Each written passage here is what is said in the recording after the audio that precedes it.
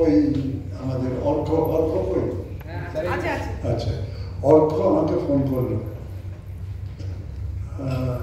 Phone করে বলল sir হ্যাঁ বল। ও বলল জন্মদিন আজ।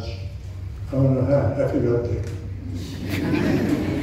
তো তখন মনে হলো যে নান্দিকারে আমরা বুড়ো বুড়োরা চলে গেলেও তরুণরা থাকবে।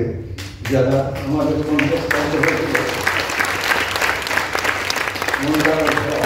যাবে কারণ আমার মনে পড়ল তখন যে কীরকম, এরকম জন্মদিন বা কোনো অনুষ্ঠান নান্দিকারে হলে তিন দিন আগে থেকে আমি উত্তেজনা বোধ করতাম।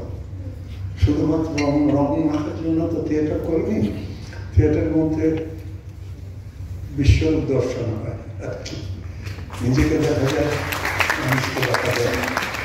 এত কালেক্টিভ যৌথ কাজ তো কিছু নেই পৃথিবীতে। ঘরের সংসারে যেমন বাবা, ছেলে, মা, মেয়ে, স্বামী, স্ত্রী, প্রেমিক, প্রেমিকা, এরা যেমন দুজনে মিলে একটা ইউনিভার্স একটা ব্রহ্মাণ্ড তৈরি করে থিয়েটার তেমনি মুহূর্তে মুহূর্তে সেটা করতে পারে। তো সেই জন্য আজ সকালে মনটা খারাপ হলো, ভালো হলো এখন দেখলাম, দেখতে দেখতে পারলাম যে সেই বাবুরা সেদিনকার ছোটবেলায় ও গান গাইতে গাইতে বেশি হয়ে যেত কখনো কখনো। তখন আমি তো সুর হলো না। তারপরে গীতা বল বাবা আজ সুর হয়েছে তারপর স্টেজেও গান টান গাইছে। তো এই সব মিলে বড় আনন্দ লাগে আর কি।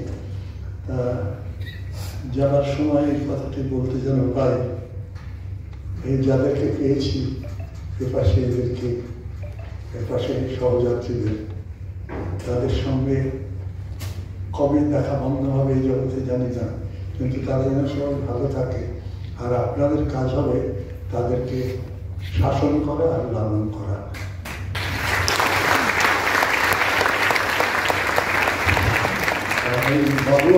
মানে একটু বেশি করে শাসন করলে না খুব হিরোইনজিত যখন তখন বলতে পারে থিয়েটার ছেড়ে দেবো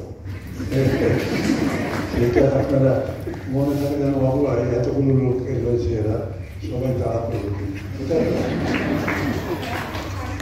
হ্যাঁ? ঠিক আছে, তাহলে ভালো থাকবেন সবাই, একটু পাশে থাকবেন। আর থিয়েটারটা একটু বাঁচিয়ে রাখবেন। বাজার ভালো না। Siamo avanti.